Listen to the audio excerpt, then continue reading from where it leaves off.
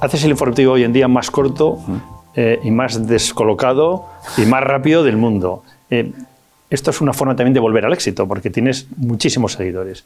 Eso es también decir, bueno, dices en un momento determinado que la experiencia mejor de tu vida ha sido estar loco, cosa que yo no, acabé, no acabo muy bien de entender, porque dices que además has aprendido a escuchar y a preguntar. Explícame esa reflexión que creo que es el final del libro, página 208. Sí, es, llego a la 208 para que me digas, yo que estoy sufriendo por ti, por ti, no, no, la mejor experiencia de mi vida es estar loco. Digo, Ángel, por Dios. Claro.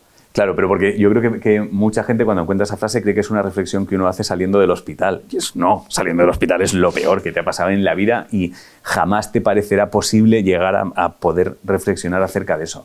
Em, tiene que ver con, que me ha permitido empezar a vivir de forma muy consciente. O sea, el hecho de, de romper por completo la personalidad y que no te quede más remedio que construir una nueva, a mí me ha permitido empezar a prestar una atención milimétrica a quién quiero ser, qué quiero hacer, dónde quiero ir, cómo quiero que sea mi vida.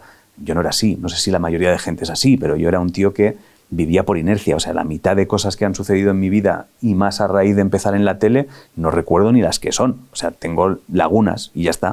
O sea, la gente me decía, esto que te está pasando es muy guay, pero yo no lo sé, quiero decir, no lo sé, yo entraba a las 6 a trabajar, salía de allí a las 6 de la tarde, dormía un rato y volvía al día siguiente, entonces, bueno, vivía por inercia, hacía cosas sin saber muy bien por qué, bueno, pues entrabas en una rueda y punto. En el momento en el que tienes la opción de construirte pasito a paso, eso es fascinante. Eh, yo sé que jamás me hubiese puesto delante de un espejo a replantearme si estaba siendo quien quería ser, construyendo lo que quería construir. Eso me lo ha permitido el pasar por algo así. Y he descubierto muchas cosas, claro. Por ejemplo, que no tienes miedo a la muerte. No, no, lo tenía mucho ¿eh? tampoco, pero es verdad que haber pasado por el proceso de morir, como mi cerebro cree que morir es una cosa que ya hemos vivido, está muy tranquilo. Es, si llega ese momento, cuando llegue, el cerebro dirá, es aquello de cambiar de frecuencia, ¿te acuerdas? Y es, ah, vale, pues nos cogemos y lo hacemos. Entonces hay gente que me dice, pero eso no es, y es, pero ¿para qué voy a, a decirle al cerebro que desaprenda eso? Si me da mucha tranquilidad, ¿para qué voy a perder el tiempo diciéndole, esto no es?